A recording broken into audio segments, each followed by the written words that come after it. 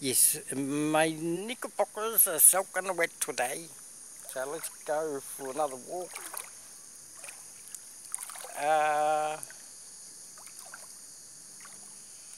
oh, it's okay, yeah.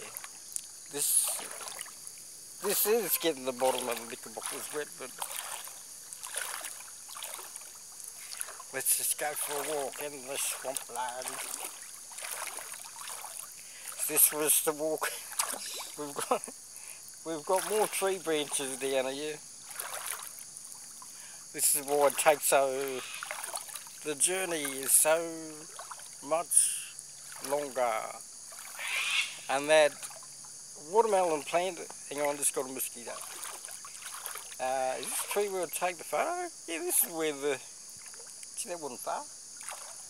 This is where the swamp water used to go to. Now there's a foot more extra water, it's a lot deeper. Okay, so this is where I put the camera. I'll start again.